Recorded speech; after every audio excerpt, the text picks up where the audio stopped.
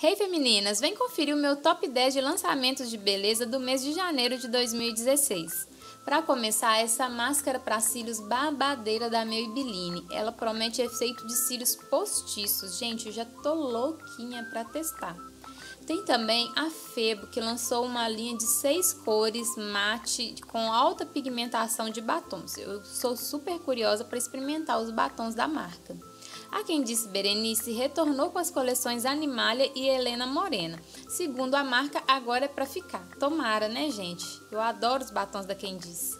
A Vichy sempre com produtos para tratar da nossa pele e agora lançou a loção protetora hidratante com FPS 30, que tem uma ótima textura.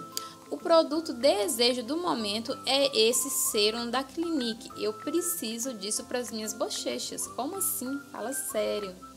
E a MAC lançou esse gloss com uma textura cremosa de batom, lindíssimo como uma fada. Achei mara.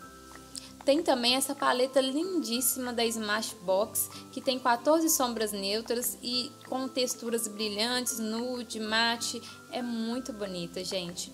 A Elke é uma marca que eu gosto muito, uso bastante os produtos e eu tô curiosa para ver qual que é o efeito do hidratante facial com a FPS 20. Um dos lançamentos que eu experimentei e aprovei é o de Olifeme da Jequiti. Uma delícia de perfume, vou usar bastante com certeza.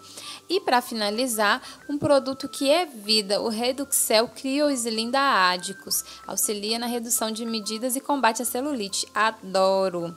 Meninas, espero que vocês tenham gostado do meu top 10. Se tiver algum produto que lançou e que vocês curtiram e não está aqui, coloque aí nos comentários para a gente conhecer as maravilhas do mundo do cosméticos. Um beijo e até mais. Tchau!